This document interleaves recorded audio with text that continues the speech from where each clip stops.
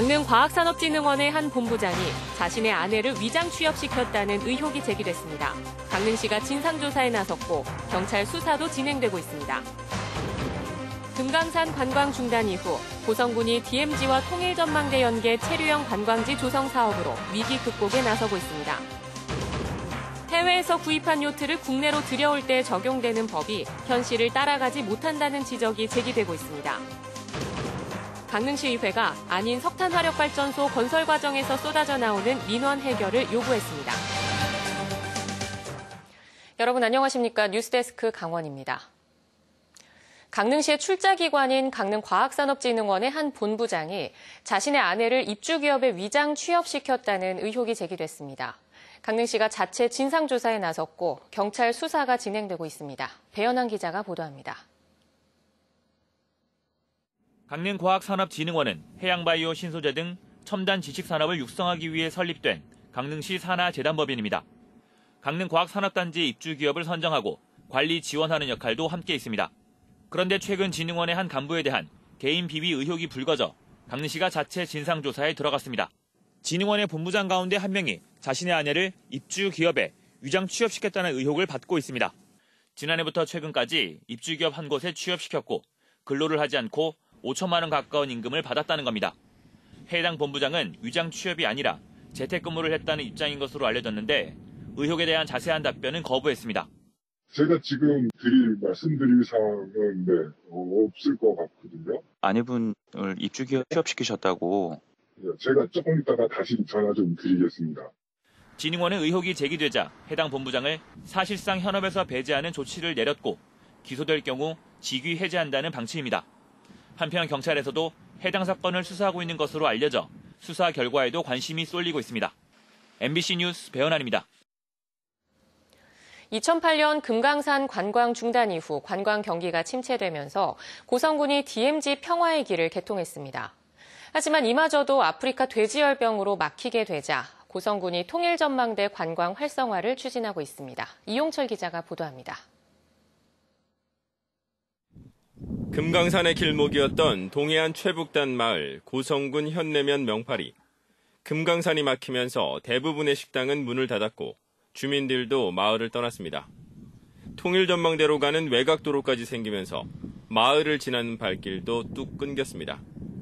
금강산 원래 잘 다닐 때는 여기 불악에 뭐 물건도 잘 팔리고 좀 좋았는데 지금은 뭐 거기에 가로막히니까 물건도 안 팔리고 사람이 첫째 없어요. 그러니까 아무래도 경제적으로 많이 어려움을 겪고 있죠. 금강산 관광이 한창이던 2007년 721만 명에 달했던 관광객은 올 들어 지난달까지 445만 명으로 40% 가까이 급감했습니다. 지난 4월 새로 개통하며 인기를 끌었던 DMZ 평화의 길 탐방은 아프리카 돼지열병 여파로 10월부터 중단됐습니다. 침체된 지역 경기를 살리기 위해 고성군이 통일전망대 주변에 대한 관광단지 지정과 편의시설 설치를 추진하고 있습니다. 정부와 강원도에 신청한 DMZ 연계 체류형 관광지 조성 사업은 다음 달 고시를 앞두고 있습니다. 낡은 통일관은 내년 말까지 16억 원을 들여 리모델링하고 북한 음식 전문점을 만들 계획입니다. DMZ 박물관 무궁화 동산에서 통일 전망대까지 출렁다리와 무빙워크로 연결하는 하늘길 사업도 내년에 시작합니다. 내년도 아마 1월이면 이제 지정이 됩니다. 그 관련해서 DMZ 하늘길 조성과 또한 그 북한 간의 북한 음식점 개설, 통일 전망대 기반 시설들을 좀 개선하는 그 리모델링 사업들을 계속 구상하고 있습니다. 금강산 관광 중단으로 장기 침체의 늪에 빠진 고성군이 통일전망대 관광 활성화로 지역 경기를 살릴 수 있을지 관심이 커지고 있습니다. MBC 뉴스 이용철입니다. 강릉시의회가 아닌 석탄화력발전소의 건설 사업 추진 현황에 대해 문제점을 지적하고 해결 방안을 주문했습니다. 강릉시의회 배용주 의원은 태풍 미탁 이후 오탁 방지망 일부가 훼손된 것이 확인됐다며 현장 합동 점검을 철저히 진행할 것을 요구했습니다. 김복자 의원은 지역 주민 채용을 위해서는 가산점 부여 대신 최소 채용률 유지나 채용 인원 할당제가 필요하다고 강조했습니다. 또 김진용 의원과 김기영 의원은 공사 차량으로 인해 비산먼지나 소음 등의 피해가 발생한다며 민원 사항에 대한 철저한 점검을 시행할 것을 주문했습니다. 강원도의회 예산결산특별위원회가 3조 786억 원 규모로 편성된 강원도 교육청 내년 당초 예산안을 수정 가결했습니다. 세부적으로는 학교 무선 인프라 구축에 30억 5천만 원을 비롯해 강원 교육복지재단 업무인 작은 학교 희망 만들기 등 11개 사업에서 47억 원을 삭감해 내부 유보금으로 돌렸습니다. 강원도의회는 내일 제286회 정례회 제3차 본회의를 열어 지난 37일 동안 심의한 조례안과 예산안 등을 최종 처리하고 행정사무감사 결과 보고를 마무리합니다. 러시아에서 구입한 중고 요트를 국내로 수입한 요트 선장이 최근 선박 안전법 위반으로 속초 해경에 단속됐습니다. 현행법이 현실을 따라가지 못하고 있어 불법을 조장한다는 지적이 나오고 있습니다. 김형우 기자입니다. 속초 청초호에 정박 중인 한 중고 요트입니다. 이 요트를 구입한 박하늘 씨는 지난 10월 러시아인 한 명과 함께 직접 러시아에서 국내까지 요트를 몰고 왔습니다. 요트 측면에는 러시아어로 블라디미르라고 적혀 있고 제조 국가인 일본에서 정기적인 안전 검사도 받았다는 표시가 적혀 있습니다. 그런데 속초항에 들어온 순간 선장 박 씨는 선박 안전법 위반으로 해경에 단속됐습니다. 해양경찰은 현행법상 임시 항해 검사를 받아야 하고 항해 검사를 담당하는 관계 기관이 러시아까지 출장을 가서 검사해야 한다며 소요되는 비용도 모두 해당 선주가 부담해야 한다고 주장하고 있습니다. 문제는 국내에서 러시아까지 검사를 가는 것이 현실상 쉽지 않고 박 씨도 관련 기관에 문의한 결과 불가능하다는 통보를 받았다고 주장했습니다. 그 외국에서 수입하는 중고 요트에 대해서 임시항해 검사를 진행해 줄 수 있냐 이렇게 물었는데 그런 거 없다고 해요. 예. 요트는 수상레저 기구이기 때문에 그러니까 임시항해 검사 대상이 아니라면서 그런데 요트 대회 참가를 위해 국내로 이동하는 외국 요트들은 이런 임시 항해 검사를 받을 필요가 없습니다.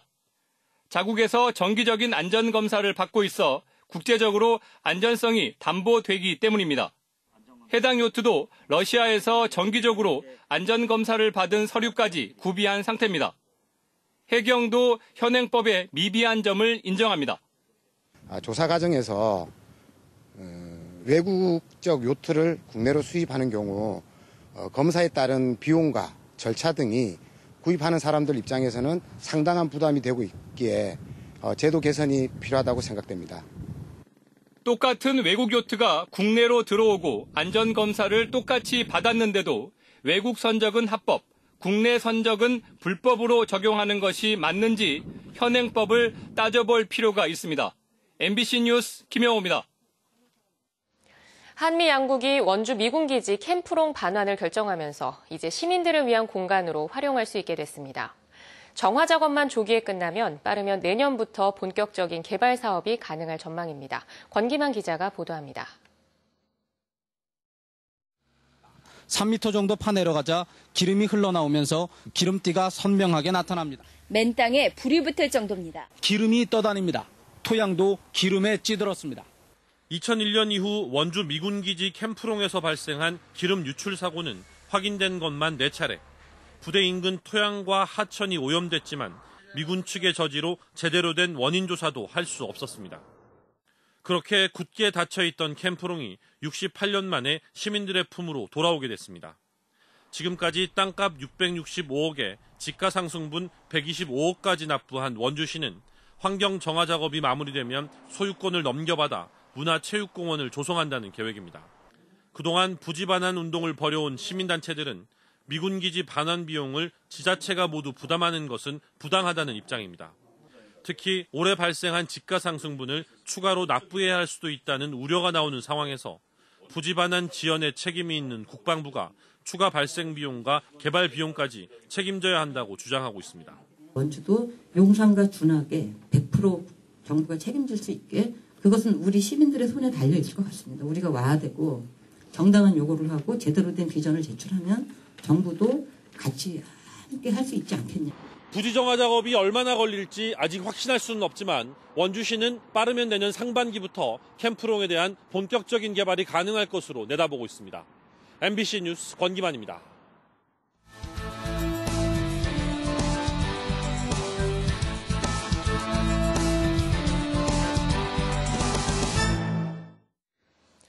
어제 저녁 정선 백석산에서 발생한 산불이 거의 진화됐습니다.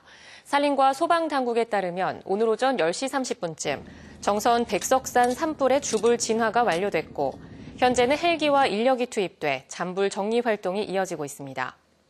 어제 저녁 7시 20분쯤 백석산 7분 능선에서 발생한 산불로 현재까지 2헥타르가량의 산림이 피해를 입은 것으로 확인되고 있습니다. 고교 학점제에 대한 학부모들의 이해를 돕기 위한 설명회가 열립니다. 강원도 교육청은 오는 16일 오후 2시 강릉 스카이베이 호텔에서 한국진로진학정보원의 강연과 함께 고교 학점제 설명회와 질의응답 시간을 갖습니다. 고교 학점제는 내년 마이스터고를 시작으로 2022년에 부분 도입되고 오는 2025년에는 전체 고교에서 본격 시행됩니다. 플라이 강원과 관광업계가 연합해 인도네시아 관광객 5천 명을 유치했습니다. 플라이 강원에 따르면 인도네시아 마케팅 회사 임직원 5천 명이 회사 인센티브 차원에서 내년 2월 4일부터 21일까지 10여 차례에 걸쳐 강원도와 수도권을 방문합니다. 최근 항공과 관광 서비스 융합을 내세우는 플라이 강원은 인도네시아 관광객의 한국행 수요가 꾸준히 늘고 있다며 관광객 친화형 상품을 개발하겠다고 밝혔습니다. 속초 경실련이 속초시의 개도지 구독을 전면 재검토하라는 성명을 발표했습니다. 속초 경제정의 실천 시민연합은 최근 3년간 속초시가 편성한 지방 일간지 두 곳의 개도지 예산은 6억 5,984만 원이며 내년도 당초 예산에는 2억 8,514만 원이 편성됐다고 밝혔습니다. 특히 조양동과 노학동, 교동 등은 주민 수건 사업 예산보다 개도용 신문 구독 예산이 더 많다며 재검토가 필요하다고 주장했습니다. 속초시는 이에 대해 속초시 통반장 설치 조례에 개도신문 보급 규정이 있어 문제가 없다는 입장을 밝혔습니다. 내년도 어촌 뉴딜 사업 신규 대상지로 도내 5곳이 선정됐습니다. 해양수산부는 전국 120곳을 내년도 어촌 뉴딜 사업 대상지로 선정했는데 도내에서는 강릉 정동항과 속초 장사항, 삼척 후진항, 양양 기사문항, 고성 무남 1, 2항이 포함됐습니다. 이번에 선정된 곳에는 100억 원씩 지원돼 내년부터 3년간 어항시설 개선과 확충, 주민 쉼터 조성 등의 사업이 추진될 예정입니다. 강릉 주문진항 좌판이 오는 14일 현대화된 시설로 새롭게 단장에 문을 열 예정입니다. 강릉시와 강원도, 강릉 수협에 따르면 모두 20억 원을 들여 활어와 선어, 할복장 등 120개 상가가 재개장할 예정입니다. 강릉시는 주문진항 좌판 현대화 사업으로 연간 이용객은 54만 명에서 90만 명으로 매출액은 162억 원에서 300억 원으로 늘어날 것으로 기대하고 있습니다. 동해시 관내 해역 두 곳에 문어 서식용 인공 어초가 설치됐습니다. 동해시는 2억 원을 들여 어달 해역에 계량 요철형 인공 어초 12개, 대진 해역에는 정삼각불형 16개 등 문어 서식과 산란을 위한 인공어초 28개를 설치했다고 밝혔습니다. 지난해에는 무코와 대진 해역에 문어집 64개와 생육 산란용 인공 구조물 192개가 조성됐습니다. 삼척해수욕장 진입로 주변에 임시 공영 주차장이 조성됩니다. 삼척시는 삼척해수욕장 진입로 주변에 음식점이 늘어나면서 주차 수요가 급증함에 따라 공한지에 주차장을 조성해 불법 주차를 완화하기로 했습니다. 이달 안에 갈천동과 마달동 등지 6곳에 임시 공영 주차장을 조성할 계획입니다. 양양군이 강현면 둔전 계곡을 탐방할 수 있는 호랑콧 등 탐방로 개설을 추진합니다.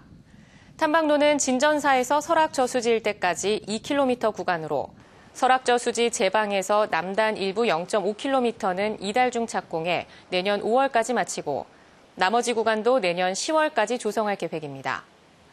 호랑 콧 등은 탐방로 구간에 포함된 500고지 옛 지명으로 호랑이 콧등을 닮아 산세가 험합니다. 강원도 교육청이 위기학생 통합 지원 체계를 구축합니다. 도교육청은 학생 지원과 학생 지원 담당을 중심으로 17개 교육지원청에 마련된 학생 지원센터를 통합 지원하고 상담과 복지 사례 관리를 하기로 했습니다.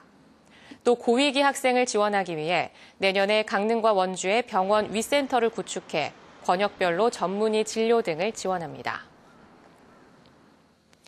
정성군이 천연기념물 제557호인 화암동굴의 미개방 구간 탐험 프로그램을 운영합니다. 정성군은 지난 11월 화암동굴이 천연기념물 제557호로 지정된 것을 기념해 아직 공개되지 않은 구간을 둘러볼 수 있는 탐험 행사를 개최한다고 밝혔습니다. 강원 뉴스 마칩니다. 시청해주신 여러분 고맙습니다.